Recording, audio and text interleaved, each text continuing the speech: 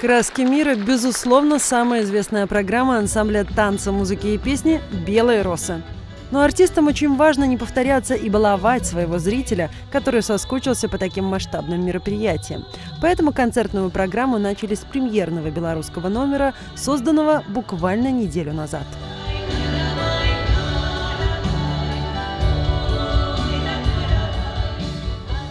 Несмотря на то, что весь концерт посвящен краскам мира, мне кажется, Беларусь занимает свое достойное место в культуре мировой. Поэтому и для нас это самая близкая культура. Что бы мы ни танцевали, нам хочется попробовать свои силы во всем. Но сказать честно, положа руку на сердце, больше всего мы любим танцевать белорусскую культуру. Мы сейчас занимаемся вопросом, как сделать так, чтобы она настолько же воспринималась хорошо, как воспринимается, например, цыганский или грузинский номер, настолько же ярко.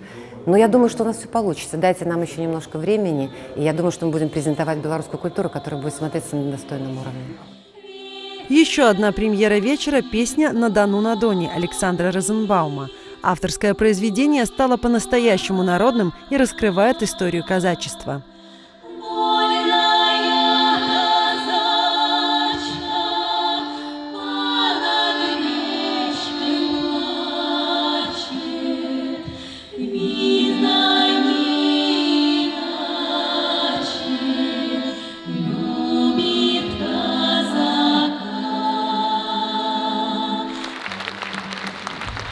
Грузинским танцем тиулури в исполнении белых роз восхищались в разных странах мира. Тиулы – коренное население Восточно-Южного Кавказа. Этот народ исторически был военизированным племенем, что отражено и в характере танца, неотъемлемая часть которого – шиджибри – состязание.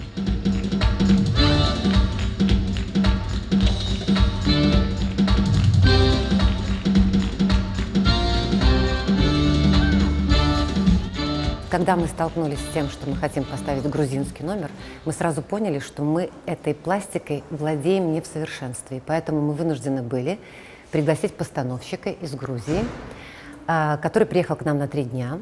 Э, два дня он учил нас вообще главным азам, как правильно делать, технику, руки, ноги и так далее. А потом мы сделали постановку. И надо сказать, что, конечно, поначалу ну, это для нас очень было сложно. То есть тут была и крепатура, и все что угодно, и были травмы. Но потом постепенно номер вкатался, и мы были очень счастливы, что все-таки нам удалось немножечко перенять эту манеру, но это благодаря постановщику, носителю этой культуры и, и этого танца.